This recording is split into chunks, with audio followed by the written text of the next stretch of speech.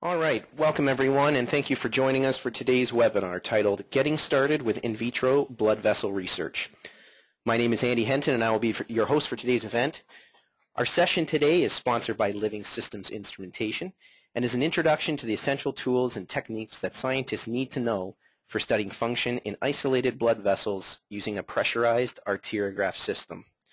First, we will hear from Dr. Jerry Herrera, President of Catamount Research and Development and Living Systems Instrumentation. Catamount R&D is a laboratory services company specializing in preclinical research studies, and Living Systems Instrumentation designs and manufactures instruments for in vitro research studies of perfused cannulated blood vessels. Today, Jerry will be providing a brief historical overview regarding the study of isolated vessels and discussing typical system design and laboratory setup for pressurized arteriographs. Following, we will hear, we will be joined by Dr. Scott Earley, Associate Professor of Pharmacology at the University of Nevada School of Medicine. Scott has been studying vessels using these techniques for over 15 years and is going to cover the essential steps for getting started with these experiments, including tips and tricks that he has learned along the way that will ensure consistent and accurate results. Okay, thank you, Andy. And uh, I want to thank all of you for attending as well. We're really happy to have you all from all over the world joining us today. And uh, uh, it, it, real uh, excited about today's event, and I hope it's useful for you all and that you're able to get some good information uh, and resources out of today's, today's meeting. Um, let me just start by telling you uh, a little bit about my background, how I got to where I'm at, and what we do at my companies. Um, again, my name's Jerry Herrera. I'm the president of Catamount Research and Development uh, and Living Systems Instrumentation. My background is in uh, biomedical research. Uh, I actually, going back to uh, uh, as an undergraduate student, I, I, studied cardiovascular physiology in Ben Walker's lab at the University of New Mexico. I think we have a few people from New Mexico joining us today, so uh, welcome.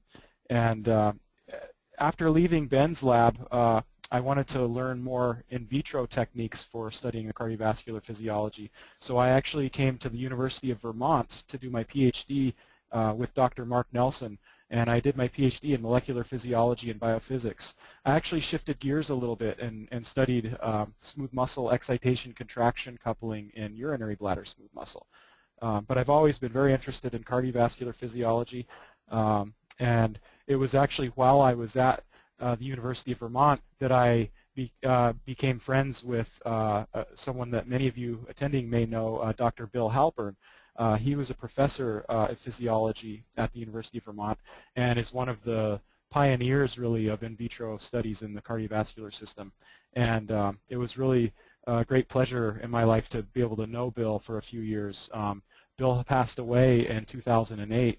Um, uh, and as many of you know, he founded the company Living System Instrumentation, um, and where he would uh, innovate the instruments that he designed in the lab and actually made them into uh, systems that other people in the research community could use. Um, so it was actually uh, after I left uh, my PhD work uh, and finished, I did a, a, short postdoc. I actually shifted gears and left in academia and started working with a company called MedAssociates. Uh, and I really enjoyed uh, this side of science where I was working with engineers, uh, electrical, software, and mechanical engineers, and helping to design and develop research instrumentation um, and, and, and, bring them into the lab for practical use.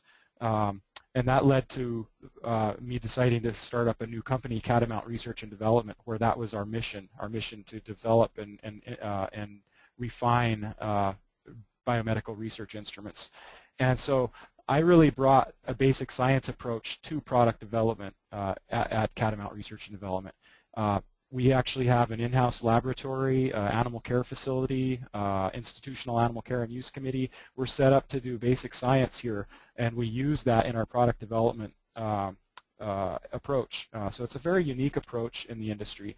Uh, not a lot of other companies have that kind of approach to developing instrumentation where we really take things through from basic science all the way through development and end up with products that go out into the lab. Uh, so we're real excited about what we do here.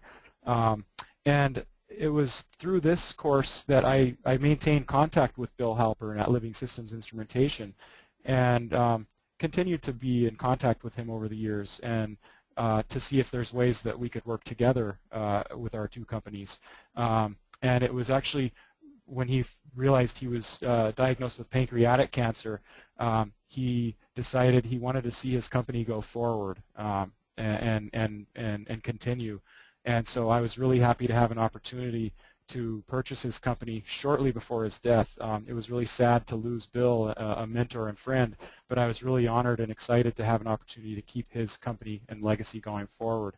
And, and that's what I wanted to talk just briefly about was um, how, the, uh, uh, how we got where we are with uh, cardiovascular instrumentation. Um, here's a picture of Bill. Um, and uh, Dr. Halpern and his colleague Michael Mulvany uh,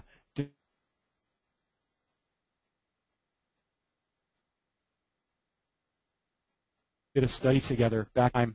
Uh, in vitro studies in vascular tissue were limited primarily to large vessels, conduit arteries, uh, and so not a lot of functional information was known uh, uh from direct studies of uh, of tissue from resistance arteries, those blood vessels in the body that are important for controlling vascular tone and vascular resistance.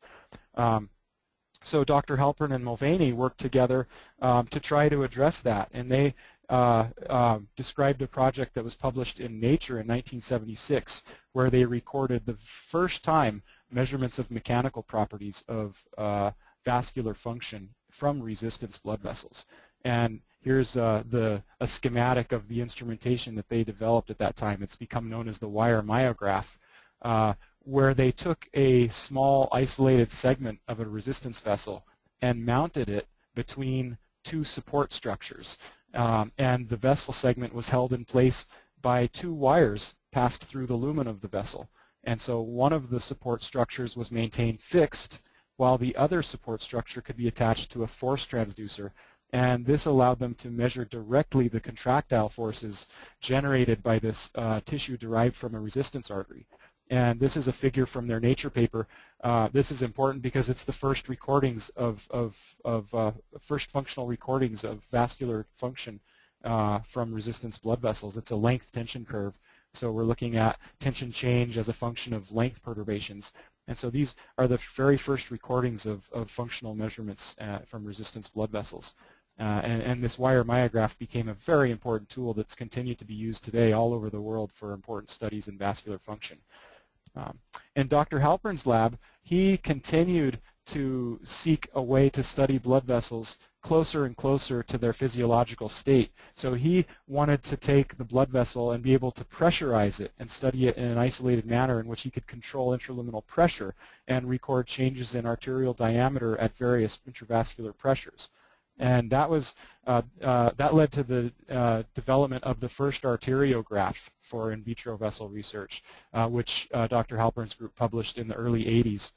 And here's a figure from his initial paper showing a schematic of the first pressure arteriograph. Um, and this is the vessel chamber in which the blood vessel is mounted between glass a glass pipette and held closed at the other end. So one end of the vessel is attached to a glass pipette, uh, which you could control with a pressure source, and then the other end of the vessel would be clamped shut. Uh, at this time, uh, the, uh, the arterial diameter was measured visually and optically uh, just by looking through an ocular on a microscope which had a dimensional reticle uh, inside of it. So they would manually take measurements of the arterial diameter and record those observations in their notebook.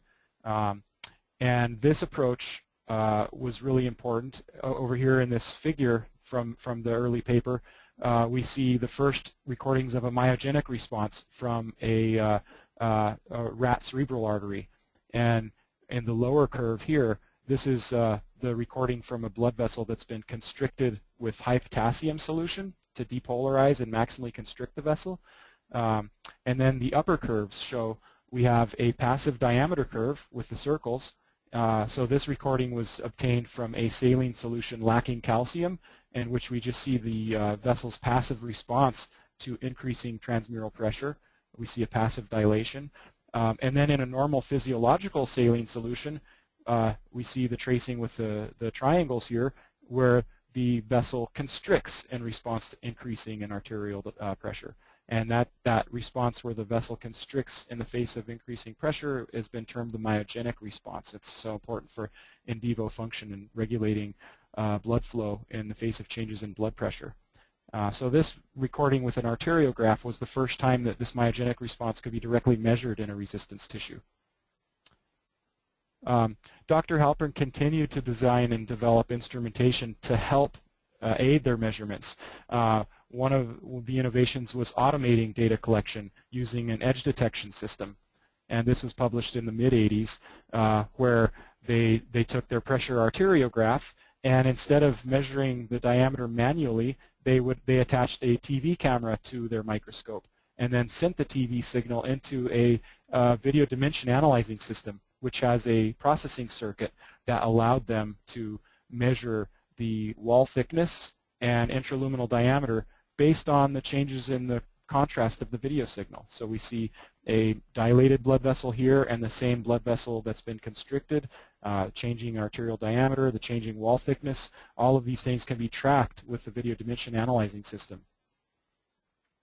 And this just shows uh, a video clip. This is actually one of Dr. Halpern's recordings from his lab uh, from a rat uh, mesenteric artery that's constricted with high potassium. And you can see the dimension tracking at work here where the uh, as the diameter constricts, uh, the wall and lumen is, is tracked with the tracking system. So a real important device that helps uh, in vitro cardiovascular studies. Now, I want to spend a couple minutes uh, giving you an overview of the equipment that you need to set up for isolated in vitro cardiovascular studies. And Dr. Earley, who will be joining us here shortly, he's going to spend some more time talking about a lot of these components. But this is a schematic that you might find useful if you're looking to set up a system in the lab or add on a capability is in the lab. You can kind of use this schematic as a guide of what are the key points you need to consider. And this is a basic uh, arteriograph system that's set up for controlling uh, intravascular pressure. Uh, and the vast majority of applications are well served by this type of a system that allows you to control uh, the intravascular pressure in which there's no intraluminal flow. So in this case, here's the vessel chamber, which would be sitting on a microscope, and the distal end of the vessel would be closed off with a stopcock or, or simply tied shut. Um, so there would be no intraluminal flow in this application. Uh, the proximal end of the vessel is attached to your pressure transducer and a pressure control system. Now we have an automated pressure servo controller um, that you can dial in your pressure set points, but there's many ways of doing this. You can, uh, many labs simply hang a, a, a, reservoir of saline and, uh, from the ceiling and adjust the height of the water column to regulate intravascular pressure. Uh, and there's other ways of attaching pumps and, and pressure controls to maintain intravascular pressure, but this is the basic concept. Um, so other key component, components would be a means for controlling the temperature of the preparation uh, to maintain physiological temperature. Most of the resistance vessels are very sensitive to uh, temperature and vascular tone will, will uh, change as a function of temperature. Uh, so temperature control is an important aspect. And then of course the um, uh, data acquisition hardware and software is also an important consideration, whether that's done with a video camera or, or done with computer software. you have to have some way of, of capturing and storing the data. And so this is your basic uh, setup for controlling uh, intravascular pressure in an isolated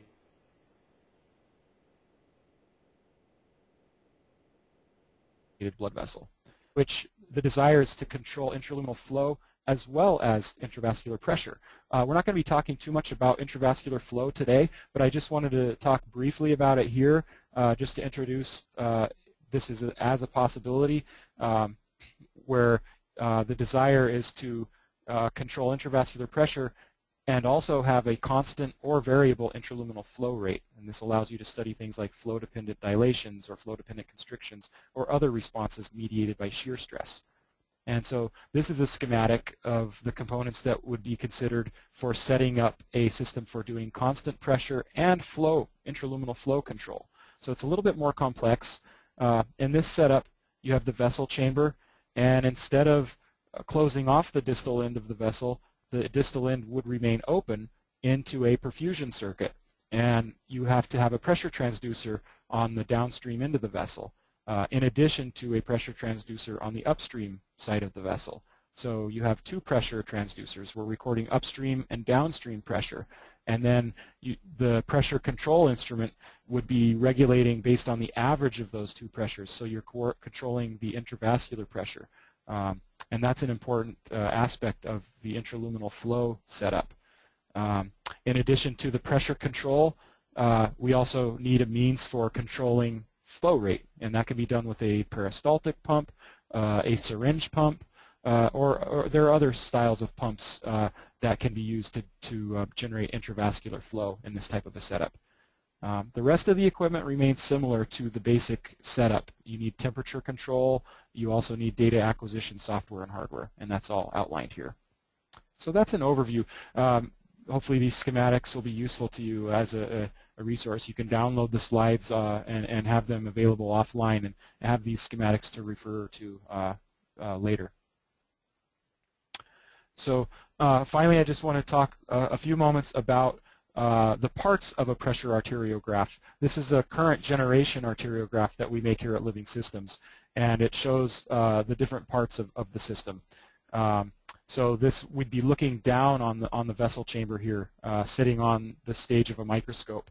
Uh, most times an inverted microscope would be used, and so there's an optical cover slip that allows the objective beneath the, the chamber to image the blood vessel. And the blood vessel would be mounted between these glass pipettes here. And here's a micrograph showing a uh, blood vessel uh, mounted on two glass pipettes you can see how the vessel is, is held in place by nylon threads here uh, on either side. And then um, the chamber also allows for superfusion. So there's a fluid path that allows you to uh, superfuse your physiological buffer into the bath and pass it out the other side.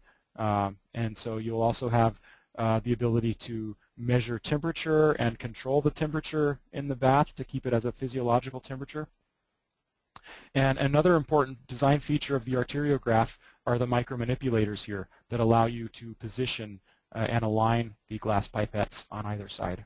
Uh, and so uh, I'm really happy to have uh, Dr. Scott Earley here today. Um, uh, I consider Scott a good friend and colleague. Uh, we've we've overlapped and had a, a, sort of a similar academic and educational path over the years. Um, I've really enjoyed working with Scott, um, corresponding with him. Um, Scott recently took a new position as an associate professor of pharmacology at the University of Nevada in Reno.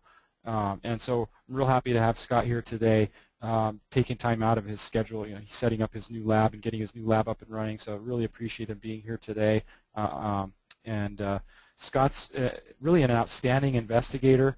Um, he does leading research in the field of local control of vascular function. He's done important studies on the role of TRP channels in vascular tone, uh, local calcium signals that are important in endothelium-dependent hyperpolarizations. Most recently, uh, Scott's group published a paper in Science Signaling uh, using a multifaceted approach, including calcium imaging records of calcium entry through single TRPA1 channels to demonstrate a role for lipid peroxidation metabolites in triggering calcium entry through TRPA1 channels in endothelium-dependent uh, control of our cerebral artery function. Uh, and this was put forth as a mechanism for endothelium-dependent dilations stimulated by reactive oxygen species. So really some important work. Uh, Scott, are you with us here? Yes, I'm here, Jerry. Okay, thanks. Uh, again, I appreciate you being here, and uh, All right. Uh, over to you. So I just want to thank Jerry and uh, and Andy for for their efforts and for inviting me here today. And um, it's it's a real pleasure to be to be here working with Jerry. he's been a great friend over the years. And um, I, you know, my purpose in being here today is to kind of present you with the workflow from the perspective for this technique, for, um, from the perspective of somebody who uses this in their lab. Um, and I use this in my lab on a daily basis. You know, on any given day, we do isolated vessel experiments. I have uh, three experimental rigs for uh, you know for doing this, and you know, and I have uh, at least one or two postdocs every day is pretty much engaged in in using this technique. So what I'm hoping to accomplish is to present you with what your workflow might be. I'm not going to be able to answer every single question you might have about, about performing this technique if you're an absolute beginner, but I can at least, uh, at least I hope to uh, uh, put you off to a good start. So in terms of the, you know, I guess it's first, you know, the first thing to consider is what kinds of studies uh, can we do using uh, pressurized arteriograph systems. And um, so we know blood vessels are composed of, of smooth muscle cells, which kind of make up the meat of the, of the wall. And these are these are contractile cells that, that are involved in the control of the of the luminal diameter of the vessels. And so this, and then the, the lumen of the blood vessels is, is lined with a single layer of endothelial cells. And you can think of this kind of like a Teflon coating um, of the blood vessels. And so the endothelial cells are involved, of course, in um, produce, they have a number of factors, but in terms of uh, vascular reactivity, they're involved in producing substances that, that regulate uh, the contractility of smooth muscle cells. And, and, and most probably most uh, prominently, in, they're involved in relaxation of the smooth muscle cells. So, you, so using the pressurized arteriograph systems, we can, we can investigate the function of, of these two types of cells and how these two types of cells work together to control vascular diameter. So that, that's, that's what my presentation is going to focus on today. So now I know many of you, based on the audience polling, are really interested in, in uh, wall thickness and vascular remodeling. So we can use the, the arteriograph systems that, that we talk about to actually measure the, the changes in the wall and to measure vascular remodeling. I'm not going to talk about those techniques today, but I mean that that's certainly something that, that um, many of you have interest in. Okay, so what are we going to cover? So number one, we're going to cover um, basic equipment and procedures. So, you know, Jerry kind of uh, showed you the, uh, the schematically, he showed you the theory, and I'm going to show you the practice. I'm going to show you, you know, what this stuff actually looks like in a, in a working lab. So then we're going to go through some example experiments. Um, and these are these are kind of the steps that people that come into my lab, this is how I train them in, in order to become expert on this technique. Um, we're going to talk about potassium chloride and phenylephrine-induced constriction of mouse mesenteric arteries. Mesenteric arteries are the easiest arteries to work with, and so I would suggest if you're getting started with this technique, you start there. So uh, by looking at, at uh, uh, KCL and phenylephrine-induced constriction, we can look at smooth muscle cell function. Then we'll look at acetylcholine-induced dilation of, of the mesenteric arteries. This is a way of looking at endothelial cell function. And finally, at the end, I'm just going to show one example of, of myogenic constriction. And I'm going to show you, this is sort of maybe one of the limits of, of this technique. And so we're going to talk about mouse cerebral parenchymal uh, arterioles. So these are the, the small ar arterioles that bridge um, the pial arteries on the surface of the brain with the subsurface microvasculature. And so these are, are critically important for, uh, uh, for, uh, for vascular function in the brain and, and uh, that it's a current area of interest in my lab.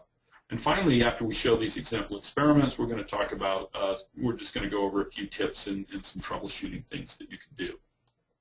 Okay, so how to get started. So the first step, if you're, if you're coming in, you're starting your experimental day, the first thing you need to do is prepare the solutions. So uh, th this just shows you uh, uh, Harry Pritchard. He's a, a, new postdoc in the lab, and he's, he's hard at work doing this. And so um, for the purposes of the experiments that we're going to talk about today, you'll need to prepare four solutions. And so the first solution will be this MOPS buffered saline. So this is a biologically buffered saline solution. And we use this solution for isolation of the tissues. So we'll isolate uh, the organ, say the mesentery or the brain. Um, we'll isolate the organ into this, this solution. We'll maintain uh, the tissue in this solution until we're ready to do an experiment. And this keeps the solution stable uh, or I'm sorry, this keeps the, the tissue uh, stable and happy um, uh, uh, during the procedures. Um, so, you know, we'll make this and we'll, we'll put this on ice. We'll keep it cold. Um, the next solution you need is um, what we call PSS, or physiological saline solution. This is a, a bicarbonate buffered solution, and this is, you, make, a, you know, maybe a couple liters of this, and this is what we use to superfuse the vessel. We use this to perfuse the vessel. This is the main solution that you'll use throughout the day. We'll also make um, a high potassium PSS. And so this is, uh, this basically we isotonically substitute potassium uh, for, for sodium chloride uh, um, in, the, in the physiological saline solution. So we try to make um, a 60 millimolar, we make a 60 millimolar uh, extracellular potassium solution. And we use this for, uh, for looking at, at KCL-induced constriction of the blood vessels. And finally, you'll need a calcium-free PSS. So this is exactly the same comp composition as, as the, the, the, the, uh, the, main PSS solution, except for we, we, we haven't added calcium, and then we've added a calcium chelator called EGTA to remove any residual calcium. And we use this solution in order to establish the, uh, the passive responses of the blood vessels. These are the, uh, the way the blood vessels respond if we, we uh, remove the ability of the smooth muscle cells to constrict. The, the constriction of smooth muscle cells is calcium dependent. If we remove calcium from the extracellular solution, the vessels can't constrict and they behave like, like uh, basically like passive, passive tubes. So we prepare all these solutions. And one thing that I want to emphasize is if you want to be successful at this technique is that you prepare all the solutions on the day of the experiment. So um, we find that in our hands that if we try to save these solutions overnight, we get stuff precipitating, we get stuff growing, and uh, and it, it, we don't get the results that we like to have. So in my mind, I always I always uh, I always tell the postdocs on a daily basis, just make your solutions fresh every day. Um, it only takes a few minutes, and and it will you know save you lots of trouble down the line. So there are other, um, and you can get the composition of these solutions from from my publications. There are other ways. Sometimes people like to use HEPES buffered uh, solutions um, for these procedures, and these, these work well in, in many people's hands. Um, the advantage is that you don't have to bubble the solutions for the physiological saline solutions because they're uh, bicarbonate based. You need to bubble with a, with a CO2 gas mixture in order to um, get the, the, appropriate pH. If you don't want to do that, you can use the, these HEPES buffered solutions. And I believe that uh, the compositions of those HEPES solutions will be provided to you um, um, with the materials from this webinar. So first step is to make the solutions. The second step is to isolate the blood vessels. So um, what you need in order to isolate the blood vessels is you need a good dissecting microscope, shown here um, on, the, on the top panel. Um, I don't have any brand loyalties. I don't know that any, you know, any brand of microscope is better than any other brand. Um, we have two, you know, two of these microscopes in the lab. One is an Olympus and one is a Nikon. Um, the one thing I do like, though, is I do like to set up um, my, my dissection microscopes on, on the boom stand. So you have a nice heavy plate here, so that makes the microscope very stable, and that, that really helps me out a lot when I'm doing the fine dissection and when I'm, when I'm trying to cannulate the blood vessels. So it really doesn't matter, you know, any particular configurations, whatever you're comfortable with, whatever works, and as long as you have a nice stable platform and you have enough working distance to uh, get your tools to where you need to have them. You also need to have some dissection tools. So you need some uh, fine tip forceps. So we have uh, we we like to use these these number five forceps. I like to use the titanium ones. Some people like to use stainless steel. Matter of personal preference. Really important to keep them nice and sharp, not ding them around. Keep you know keep the points as fine as possible. And then you also need uh, a set of small scissors. These are sometimes called Vannas scissors or or uh, microvessel scissors. So and um, you can obtain these from various vendors. You can get them from uh, um, from uh, Small Instruments Incorporated or, or various vendors. Um, so once you have your tools, then you need um, some uh, dissection dishes. And these are the dishes in which um, we pin out the tissues uh, from which we isolate the blood vessels.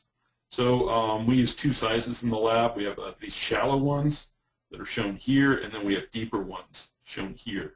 The shallow ones we use uh, for isolation of mesenteric arteries, so, um, and I'll show you a picture of that here in a minute. And then the deeper ones we show um, for uh, isolating, for, for brain, for isolating cerebral arteries, so we'll put the brain in here. Um, you can buy these um, from various vendors, or you can make them ourselves. We make them ourselves, so we we'll buy Sylgard and we'll buy glass petri dishes, and then we just pour the Sylgard to the depth that we want. Um, and you can see that these are, you know, these see a lot of use. You can see how, how the Sylgard is getting, getting pretty beat up here. You also need a set of insect pins. So these are the pins that people collect butterflies or whatnot um, use to pin down their, their insects. You can buy these from various vendors, so you'll need a set of those. You, you know, in, in, you know, in my case, I bought them once and I had, basically have a lifetime supply. Sometimes we use smaller dishes for uh, cleaning up the arteries. And you can see one of these here. And this is just a small 35 uh, millimeter uh, petri dish in which we poured Sylgard. So, um, you know, when, once you once you've assembled all of that stuff, um, you can sacrifice your animals. Of course, you need to follow your um, your IACUC recommendation for humanely euthanizing the animals and for collection of the tissue, and you need to uh, deal with all of that uh, regulation up front. Um, after you isolate the tissues, um, you can pin them out in these dishes. So this just shows you two examples. So this shows um, a mesentery. So uh, this is a, a mesentery pinned out in a dish. So you can see how we use the insect pins to kind of stretch the tissue out just a little bit. You don't want to stretch it too much. You don't want to damage the arteries. But you want to be able to see, visualize the blood vessels so you can isolate them. So you can, you can kind of see an example like this. So it's almost like these things look like the spokes of a wheel. And so you can get in and you, you can isolate the tissue that way. This shows you the example of a brain is pinned out. So this is a mouse brain. This is the, the distal surface of the brain pinned out. So you're, you're looking down on it, looking, kind of looking down on it. This is the, uh, this is the circle of Willis. And so you can isolate the pial arteries that come off the circle of Willis. You can quite clearly see the middle cerebral arteries coming off the circle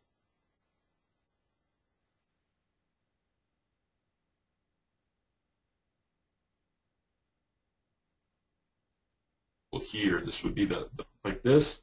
And then uh, uh, from here on out, we're going to focus on the mesenteric arteries.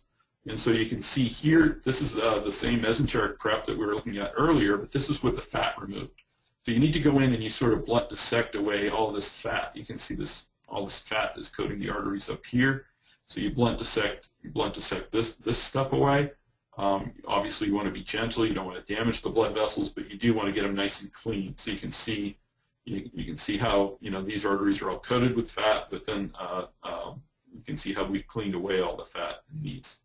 So then the, the big thing you want to do here is that, that you need to uh, you need to distinguish between the arteries and the veins, right? So we want to study most of the time we want to study arteries, although you, you may want to study veins as well, but you, you need to know which is which.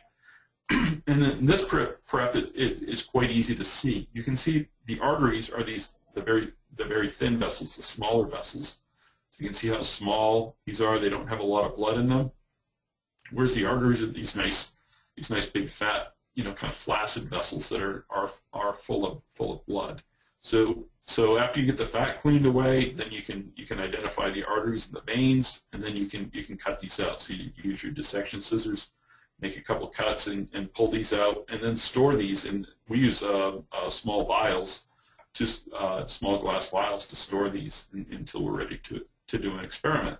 And so on, on, any given day, you might come in and you might isolate, you know, several of these, you know, quite a few of these, maybe six or eight of these, just to uh, um, have them ready to go. Keep them in your in your little vial with with some buffered saline or or whatever um, whatever you're storing your tissue in, and just keep the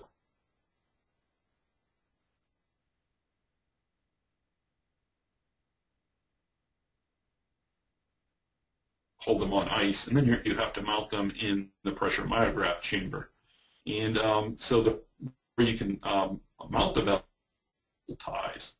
And the way we do this in the lab is we have the, these uh, braided nylon fibers. You can buy these from various vendors. You, you unravel a, a, a, piece of that, you know, maybe maybe five to 10 millimeters long, maybe longer. Doesn't really matter at this point. And then you, you you want to unravel these. So these things are composed of, of multiple filaments. So you want to unravel them until you have an individual filament. So then you use you use one filament per tie.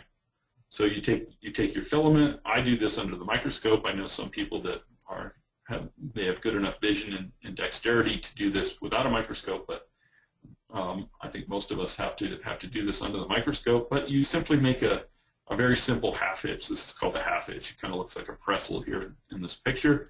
So you make a nice little half hitch um, using your fine tip forceps, and then uh, and then you can stick these down to you know usually what we do is we put some uh, some two-sided tape in a petri dish and we stick these down. And I use the I actually use the tape to actually make the tie. I find it convenient to have the uh, the string kind of stuck down a little bit. It's just a little bit easier for me to handle. It takes a little bit of practice you know, so you this is maybe something you do before you actually get ready to do an experiment. Maybe spend a few, you know, a few afternoons here and there just kind of practicing making ties. Kind of, it's really good for getting your hands uh, trained for for doing this fine dissection work. So you you make a bunch of these ties. You'll need at least four per experiment.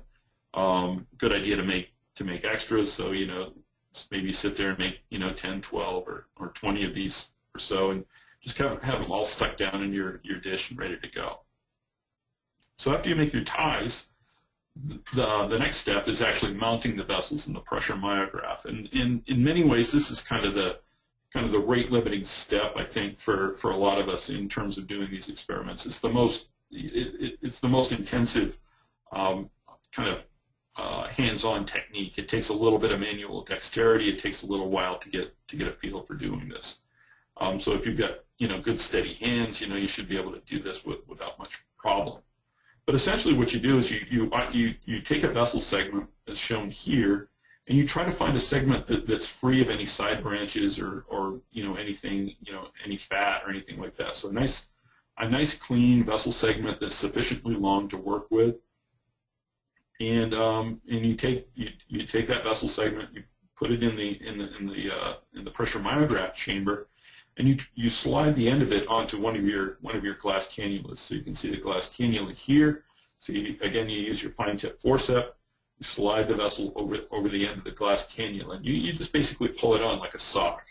It's really um, you know you don't you want to get you want to get enough enough cannula in the vessel so that you have something to tie onto, but but you also want to leave enough vessel free so it can actually constrict, and actually, so, you, um, so it can actually do its thing. So you get the vessel pulled on, you put a tie on the end of it. You can, so you take one of your ties, you kind of, um, maybe you've already, usually I usually put the ties on the, on the cannula before I start the experiment. So they're already in place, slide it down the vessel, and then cinch it off, and you can tie it off. So you can see, see how it's done here. Um, you know, many labs use two ties. This kind of gives you kind of gives you a backup in case you have a leak or something like that. This this may help you out if you're just getting started. You may want to use two ties. Um, once you get once you get the the proximal end uh, cannulated and attached, um, you want to just put a little tiny bit of, of, pressure on this, and you can use a syringe for this. But just you know, don't just you know cram down on it and and, and uh, you know hit it too hard. You just want to use the the most gentle pressure you, you can that will actually flush the blood out of the lumen. You don't want to have any blood in the lumen here. So you put a little bit of pressure on here, you flush the blood out. Once you've done that, then it's time to cannulate the, the distal end. So you maneuver the, the vessel in place using the controls on the on the vessel chamber. So you get you, you, you get this distal cannula positioned so that you can you can pull the vessel over the end and then you tie it off. Okay, so uh, when, once you get that done, then you want to, um, uh, then the next step is to transfer this chamber to your recording system. So then you actually, so you, you take the, uh, the vessel chamber out from under your, your dissection microscope and you put it on, on, um, on your recording system. So usually, again, like Jerry said, it's an inverted microscope, so you can see, you can see, uh, see what we got going on here You can see the, uh, the vessel's cannulated here and, and microscope objective is here. Um, you connect the, the inlet and the outlet superfusion systems. So you connect, you connect uh, the superfusion tubing. So you can see that there's an inlet coming here um, and then an outlet coming here. So you, you connect these up. And then you connect uh, your pressure control system. So you can, you can see this is what we have here. So we're, we, we've got one end of the vessel tied off here and so then uh, we connected our, our, pressure control system um, uh, through this port here. So you, you, get it all set up here, and so then your next job is to, is to keep the vessels alive and happy. So obviously we want these, these vessels to be able to constrict and do their thing. And so um, the parameters that you want to think about controlling at this point are temperature, flow rate, pH, and, and intraluminal pressure.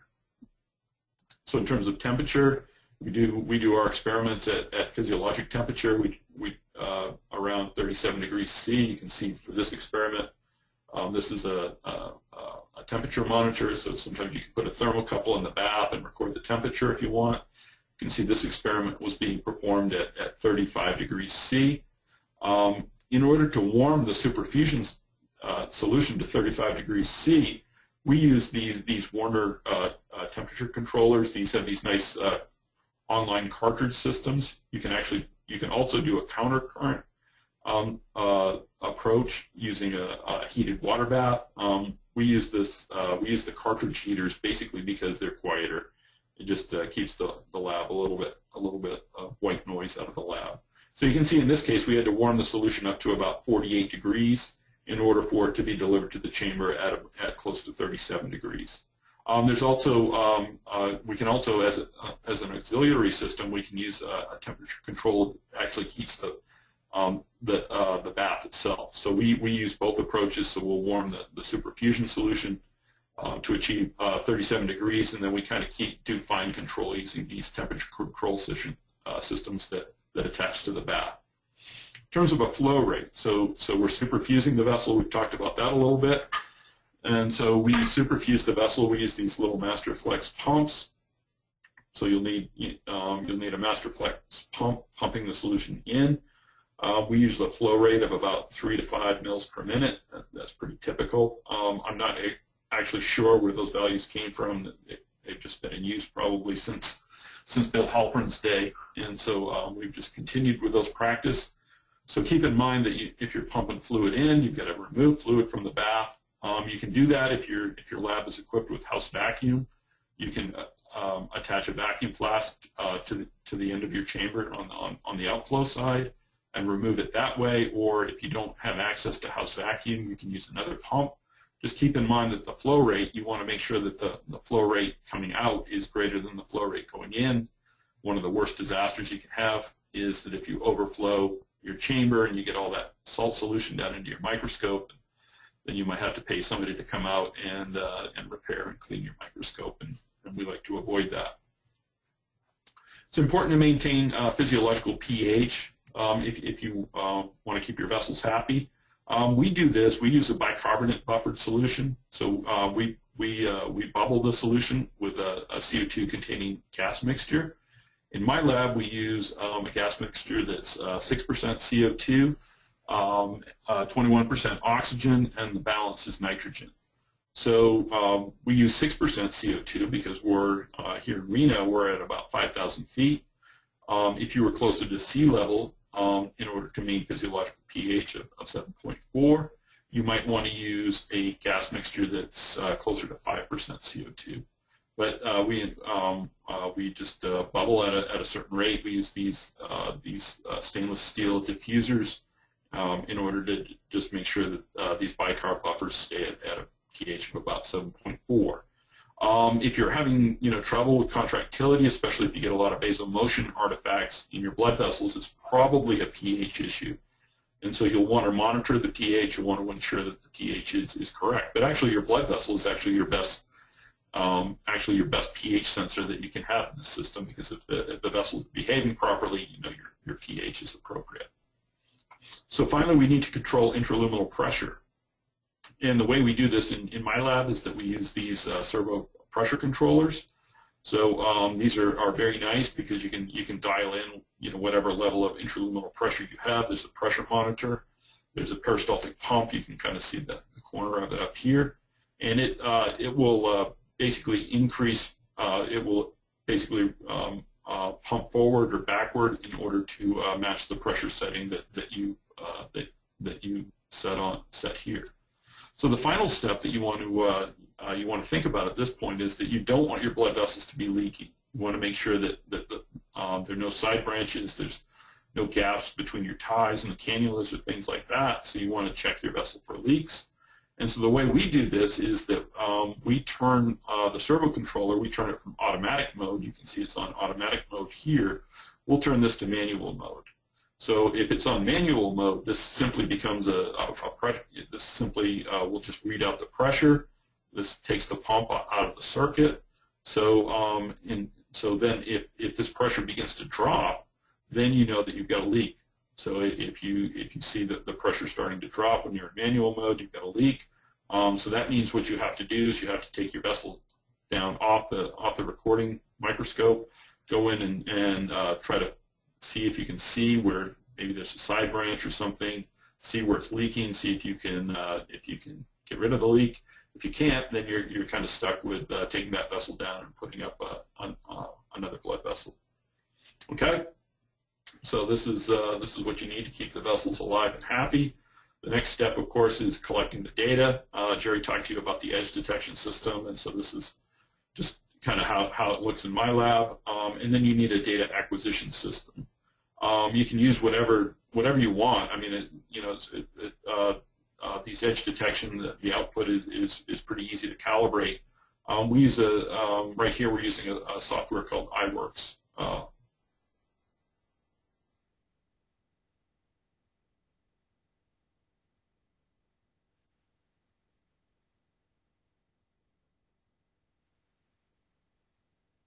um, and it, it's quite compact. It fits on you know a single bench, and so it's kind of nice that you know you can cram several of these into your lab if you want in, in quite a small space. So now we'll we'll go through some uh, some um, example experiments. And so the, the first experiment that I, I want to talk to you about is potassium chloride induced vasoconstriction. And so um, the, basically what we do here is that we expose the vessels to elevated extracellular potassium. And so in this case, we'll increase extracellular potassium from 5 millimolar, which is physiological, to, to 60 millimolar. And we'll, we'll, to do this, we'll superfuse the vessel with our, our high potassium PSS. And so what we do is that we'll have a reservoir where the where the uh, where the pump is is pumping out uh, PSS across and superfusing the vessel. So we'll we'll just you know, pull the tube out of that reservoir and put it into a, a second reservoir that contains the high potassium PSS. And so one thing that's, that's really useful to do at this point is to, uh, you know, keep that outflow tube out for a little bit and introduce a, a small air bubble in, in the line. And the reason why you do that is that you can watch when that air bubble enters uh, uh, the pressure myograph chamber, that's when you know the solution change occurs. And so you can put a mark on your on your data acquisition system so that you know that you've achieved solution change. So what happens when we expose the vessel to high extracellular potassium is that we collapse the potassium gradient. So we've exposed the vessel to high extracellular potassium and we, we collapse the potassium gradient. So instead of having big potassium currents coming out of the smooth muscle cells, we have small, uh, uh, we, we have a reduction in the magnitude of the potassium current. So that um, that results in depolarization of the, of the smooth muscle membrane potential, uh, and that, uh, that activates voltage-gated calcium channels, so we get calcium influx, and that causes uh, vasoconstriction. And so this is what it might look like on your on your monitor screen. So you see we have a nice nice big fat vessel here, um, and then when we expose to the uh, high, pota uh, high potassium PSS, we can see we get this this massive vasoconstriction. So this is, should be the first thing you do with your blood vessels is that you should expose them to, to um, high potassium PSS. And if you don't get this, this big vasoconstriction effect, then then something's gone wrong. I mean, this is a this is a real hammer. If your if your vessels don't constrict to these high concentrations of, of potassium chloride, then then something's gone wrong. Either the tissue has been uh, not well maintained, or your pH is off, or, or something like that. So so, so this is a, a good first step, but, but hopefully you, you won't, won't encounter any problems. So, so the second, the second example experiment that I want to talk about is uh, phenylephrine, phenylephrine-induced uh, concentration. And so this would be a, a phenylephrine concentration response curve. And so we know that phenylephrine is a neurotransmitter that binds to the, the type 1 adrenergic receptor or alpha-1 receptor you know, on smooth muscle cells. And so basically through a number of, pathways, this causes an increase in intracellular calcium, and this causes uh, smooth muscle cell contraction and vasoconstriction. So what we're going to do is I'm going to show you some examples of what happens when we expose um, an isolated vessel to increasing concentrations of phenylephrine. So in these examples, we've started at, at 10 to the ninth molar phenylephrine. again, this is administered in, in the superfusate. And then uh, we've, we've increased the concentration in a stepwise fashion from 10 to the minus 9 all the way up to, to 10 to the minus 5 molar phenylephrine. And so you can see we get this, you know, this kind of graded constriction of the blood vessel. You know, not much going on here at, at 10 to the minus 9, but we're starting to get a, quite a good constriction when we get to 10 to the minus 7. And it seems to be getting maximal somewhere between 10 to the minus 6 and, and 10 to the minus 5 molar phenylephrine. So uh, this is a, a real good you know, if you can if you can see this kind of response, this is a, a real good way to know that, that your blood vessels are happy, that, that you've achieved the, the proper conditions uh, within your recording chamber.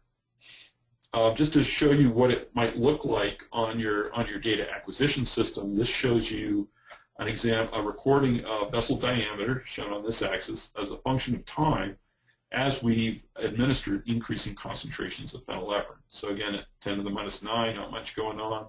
We get a little constriction at 10 to the minus 8, a better constriction at, at 10 to the minus 7, and then much bigger constrictions at, at 10 to the minus 6 and, and 10 to the minus 5. One thing I want to point out to you here, this, this recording is, is quite in, instructive in that it shows that what, what's happened here is that we've lost contrast. So we, because the vessel is constricted so much, we, we've had a problem um, uh, maintaining contrast and maintaining the, uh, the tracking of, of, the diameter of the vessel. But what you can do is you can adjust, adjust the level and, and the position of, of your uh, uh, of the tracking bars, and if you do that, you can actually recover, and you can actually um, you can actually kind of save this recording, and you get a nice stable recording here. So uh, the investigator here had, had done that; they'd lost their tracking, so they they manipulated uh, the level and and the position of their their recording um, Uh, uh, uh, of the detection bars until they actually were able to obtain a, a, stable diameter. So that's really important. So that's one thing that you, you need to learn to do as an investigator is, is basically how to maintain tracking in the face of, of, of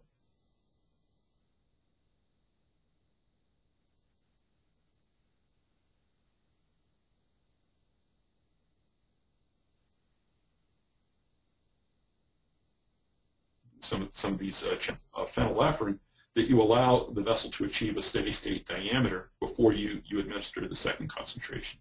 So you can see here that we've got these nice steady state responses. So this is what you want to measure. You want to measure these steady state responses. You don't want to, you know, you don't want to worry about what's going on here with some of these transient things. What you want to, what you want to focus on are these steady state responses. So as a reviewer, I review, you know, I re when I'm reviewing manuscripts, I, I, I always ask, um, I always ask authors to provide me with example traces so I can I can make sure that they're actually looking at steady state responses. Okay, so after you after you do this, after you do a few vessels, you get you get these diameters, you get these measurements. You want to plot the data, and so this is this is an example, and these are these are just kind of made up data.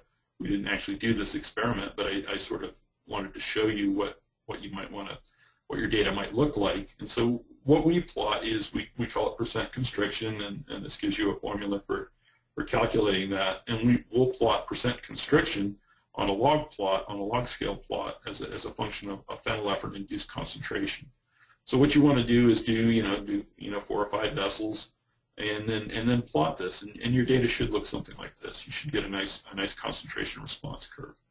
And um, you know, and if you can achieve this, then you you have some confidence that you that you know um, um, that you know how to do these experiments and that your system is working appropriately. So the, the third example I want to talk about is acetylcholine-induced relaxation. So this is a way of looking at endothelium viability. So this is a way of, of, determining whether or not that through your isolation procedures that the endothelium in your vessel is, is working appropriately.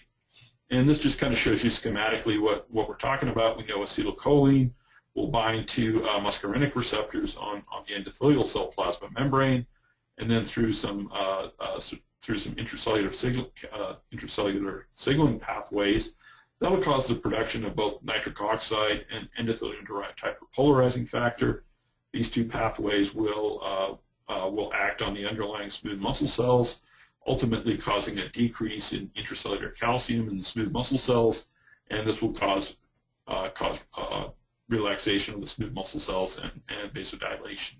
And this is this has become the gold standard for for assessing intact endothelial function. So if you can get in in a, in a mesenteric artery, this is vascular bed dependent. Some some vascular beds it doesn't work as well, but in mesenteric arteries, um, you should be able to see um, a, a robust acetylcholine induced vasodilation if the endothelium um, in your blood vessels is intact.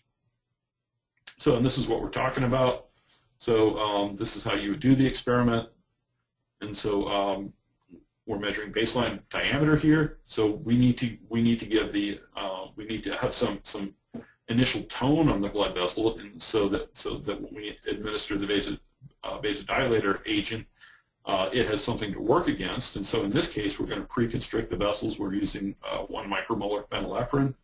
So we, we've superfused the vessel with one micromolar phenylephrine. We've obtained a steady state response. So the vessel is nicely constricted. And then in this case, we've administered, we've co-administered uh, uh, 10 to the minus 4th molar acetylcholine and 1 micromolar phenylephrine. So you can see that, that uh, the acetylcholine caused, caused the blood vessel to dilate. To show you what this might look like on your, on your data acquisition system, again, we have the steady state diameter here after administering phenylephrine. So this is our pre-constriction. Then we administer the acetylcholine, and you see you get this very nice vasodilatory response.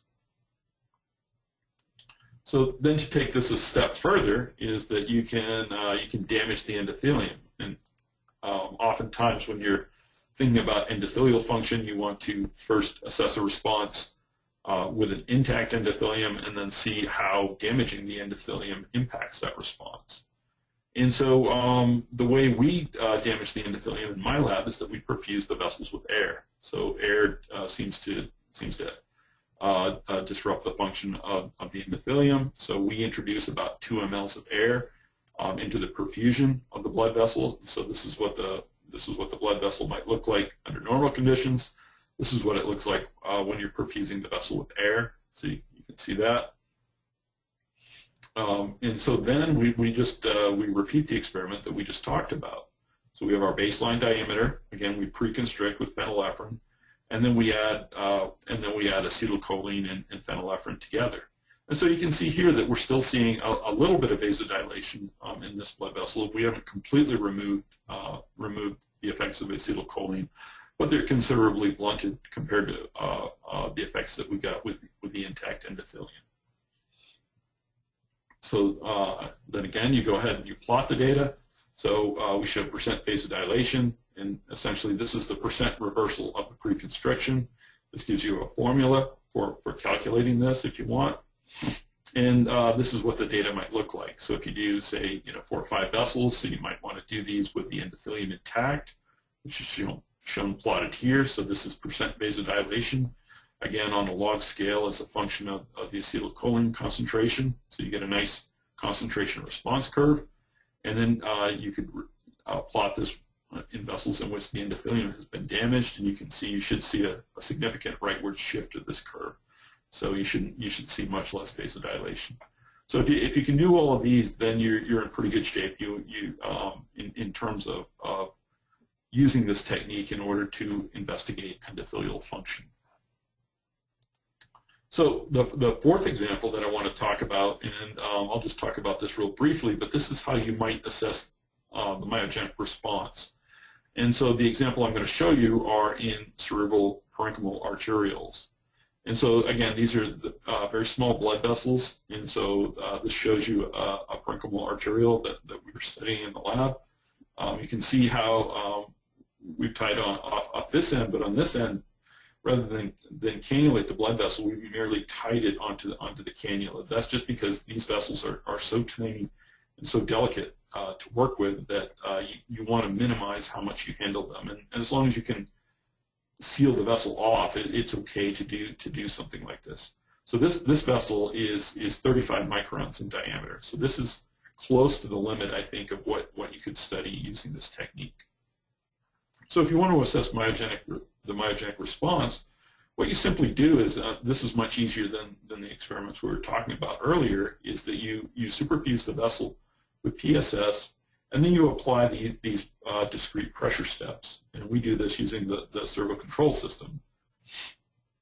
And so in this example, we started the vessel off at a very low level of intraluminal pressure, five, uh, five millimeters of mercury, and then, and then we upped it to 20, 40, 60, 80, 100, 120, and 140 millimeters of mercury.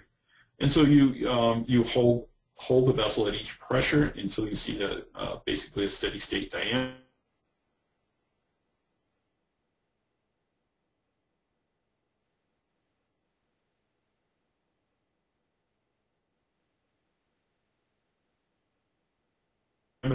and then you go onto this vessel down about 35 millimeters of mercury. And in spite of this, this increase in, in intraluminal pressure, uh, this vessel is actually maintaining its diameter quite well. So it's generating uh, this, uh, uh, this distending pressure. So then after you, after, you, um, after you've recorded the active responses, then you superfuse the vessel with, with the calcium-free PSS. And I usually do this for you know 15 or 20 minutes and then I start the pressure response curve again. I turn the pressure back down to, say, uh, 5 millimeters of mercury, and then I start, I, I, do my stepwise increases in pressure. And what you can see here is that the, this vessel is just, just dilating passively. The, uh, the muscle is generating very little, if any, any muscular tone. And so you can see that the diameter increases uh, um, uh, in accordance with, with the increase in intraluminal pressure. So to plot these data, we calculate myogenic tone, and it's basically the difference between the passive and the active diameter as a function of intraluminal pressure, and then you might see a response curve like this. Okay, so now we've been through four example experiments. So um, just in terms of some, some tips and pointers, um, the big thing if you're if you're new to this technique, the the um, the big thing that that um, I can recommend is that you practice. So some people, you know, some people if you're very if you have very good manual dexterity, you're really good at doing this. You might learn to do this in a week or two. If you're if you're not, you might take you know two or three months. Most people take about a month to get really good at this. Uh, is my experience in my lab. And so what I have the people in my lab do is I do the uh, do the, the procedures in, in experiments one through three. So potassium chloride induced constriction, phenylephrine concentration response curve, ACH induced dilation. And we do this usually using second or third order mesenteric arteries, arteries that are you know on the order of about 200 microns in diameter. So you do this in, until you get consistent results. And so I have a, a new postdoc in the lab, and, and, that's actually what he's doing today. He's, he's doing phenylephrine concentration response curve until until it gets good at it. So um, just just do this using mesenteric arteries, and then once you're confident, once this is working in your hands, then move on to to your vessel of choice, whatever whatever you you feel comfortable working with. Um, the other tip: work fast. You know, you want to remove the organs. So after after the animal, after you euthanize the animal, try to get the organs out and isolate the vessels as quickly as possible. Uh, my experience is on cerebral arteries, this is really critical. If you leave the, uh, the blood vessels on the brain too long, uh, toxins released from the from the neurons as they die seem to seem to poison the blood vessels, and it, it seems to uh, reduce reactivity. So if you want to get consistent results, work fast, get the organs out, get the vessels off as, as quickly as you can. Uh, again, make your solutions fresh each day. Don't get lazy. Don't don't try to store them overnight. You'll be sorry. Um, one thing uh, we didn't talk about is, um, and and this is something that's really hard to, to talk about. It's one of those things that um, you really need to see, but um, is stretching the, the, the, vessel in the initial prep. So you want to apply uh, physiological level, levels of stretch to the blood vessel, but how do you do that? And um, the way we do that in my lab is that you pressurize the blood vessel, so you, you pressurize it, say, to maybe 40 millimeters of mercury, you look at it under the microscope, and what will happen is the vessel should bend a little bit. So it should, instead of you know being straight, it'll it'll have more of a C shape. And so what we do is that we just we just uh, move the cannula apart in, until we remove that bend, and then we maybe you just give it just a, a hair more stretch after that, just a, a tiny bit more. Um, and, and that seems to give you uh, consistent results. But that's one of the things that you really need to learn you need to see this. You need to do it on a, on a daily basis. And then you, you'll get to the point where you know exactly where you need to be in order to get reproducible results. Uh, it's important if you're having problems, the first thing to do is to check your your pH, your oxygenation, your temperature. And so you can get you can get uh, electrodes to measure this in, in your bath. So uh, just you know make sure you're you're getting uh, you know uh, consistent conditions in, in your bath.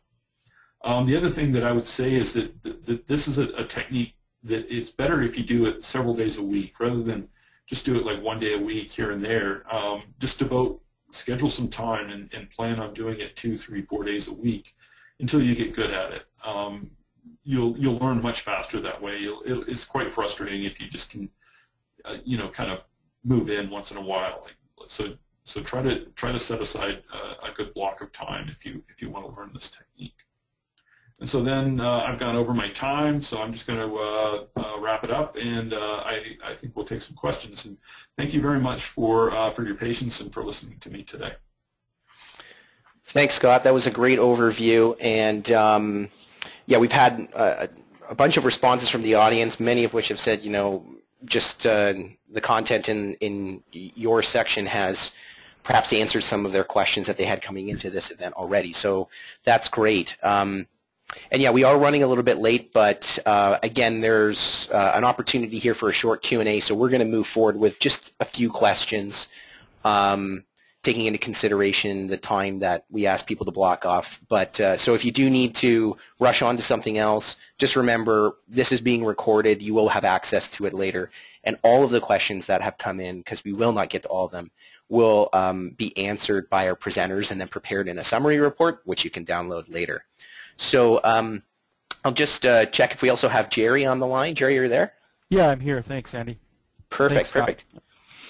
All right, so yeah, let me um, fire the first question at you guys. So we've had a few uh, questions come in about um, basically microscope, what objective should be used, how best to visualize the artery, and also whether an upright microscope can be uh, used. So can you guys clarify that? Yeah, I can start uh, uh, with a little bit of perspective.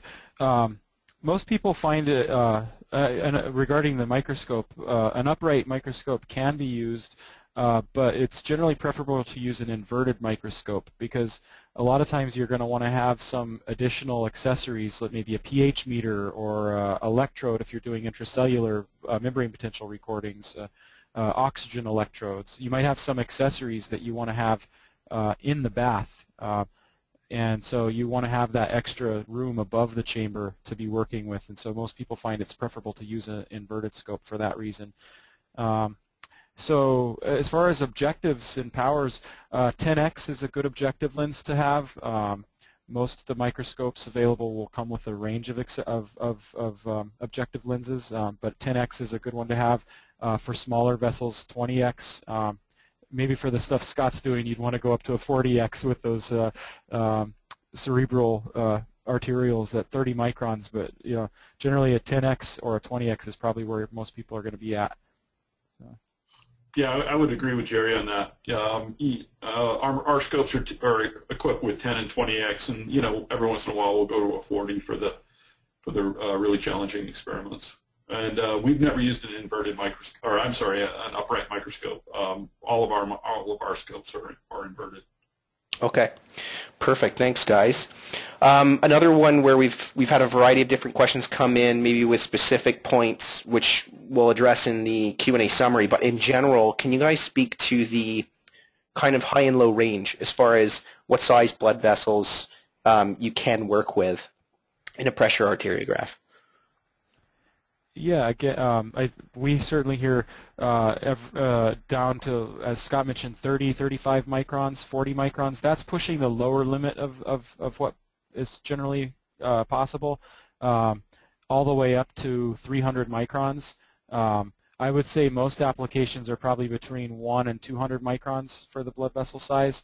Um, certainly based on the, di- the diameter of the blood vessel, that's going to dictate the cannula diameter that you're working with. So you just want to make sure you have appropriately sized cannula to match the blood vessel diameter that you're working with. I would agree with, with Jerry on that. Okay. Perfect. Uh, um, all right, and then I guess on the low end, or a question relating to you know very small, working with very small vessels. Um, someone has asked, are there any tricks to cannulate brain vessels, such as the middle cerebral artery or basilar? Um, they're finding that they always have side branches and it's very difficult for them to work with this particular um, vessel. Do you have any specific uh, suggestions? Yeah, well, I mean, uh, like, uh, all I can say is, yeah, I agree because it's, uh, it, it is. I mean, it is challenging, and that is one of the things. We don't use middle cerebral arteries very often for that reason. That they tend to be they tend to be branchier. So we'll use the, the cerebellar arteries, the superior cerebellar artery, and then we'll use the posterior, the, it's called the third branch of the posterior cerebral artery. So we, we tend to be able to isolate segments that are, um, that are of sufficient length to allow cannulation without side branches. Without that, there are some, if you go to the very distal portion of the, uh, um, the very distal portion of, of the middle cerebral artery, um, sometimes you can find uh, um, uh, segments that are long enough to cannulate. But yeah, that, that is very challenging, and I mean that's something that that we go through every day. But it, but it's possible. You know, you just need to be patient and look look for the uh, appropriate vessel segments. Yeah. Okay. I would just add to uh, with the branchy vessels, if you really, if, if, if that's the vessel you need to study, um, it is possible to, uh, although tedious, to isolate branches with ligatures. Um, it does require a lot of extra um, effort in the mounting process, but but uh, but some people do take the extra time to to ligate side branches uh, on those branchy vessels. Okay. All right. Very good. Um, there were also a number of questions that talked about you know specific techniques during the isolation phase of a vessel, and then how long it can be stored in a buffer. Scott, you mentioned um, you guys store these, and um, perhaps you can provide a little bit more detail about uh, the type of buffer, maybe the temperature, the composition, so that um, you know these samples stay intact and viable for your experiments moving forward. Yeah, I mean, we we used uh, we used this MOPS buffered saline solution, and again, if you know, you can look at my papers and get the composition. But this is a solution that contains.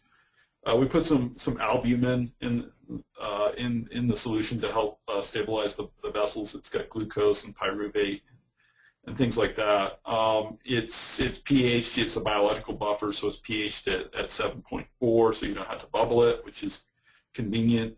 And then uh, we uh, you know we'll isolate uh, a set of vessels and we'll store them on ice in that solution. And probably, you know, maybe six to eight hours. You know, usually that's the, you know, the, the, a typical experimental day. I wouldn't go too much longer than that. I mean, some people talk about, you know, holding them overnight and things like that, but I would worry about uh, about loss of viability. So, so typically, if you, the workflow is you come in in the morning, make the solutions, uh, um, isolate the, the vessels, and, and just store, you know, a set of vessels on ice for, say, six or eight hours, and that's usually enough to, to last you through the day. Okay. Very good. Um, all right, guys. Well, in the interest of time, uh, we have a ton of questions that have come in. So for all the audience that's still with us, thank you for uh, submitting questions, for staying, you know, the extra length uh, uh during today's webinar. But I'm going to suggest that we close things off. And um, and again, just for everyone that's online, uh, all the questions that have come in, these are going to be um, you know reviewed by our presenters, and answers will be put together in a summary report the slides from today, uh, as, lo- as, as well as an appendix on some of the, the buffer recipes that were discussed. They're all going to be available for download, as well as the full recording. So um, at this point, yeah, I'd like to officially um, uh, thank Living Systems in, uh, Instrumentation, um, Doctors Jerry Herrera and Scott Earley for your contributions today. This was an excellent event, and our audience has um, confirmed that with all the feedback. So many thanks to you, and um, we hope to have everybody back uh, on a future event soon.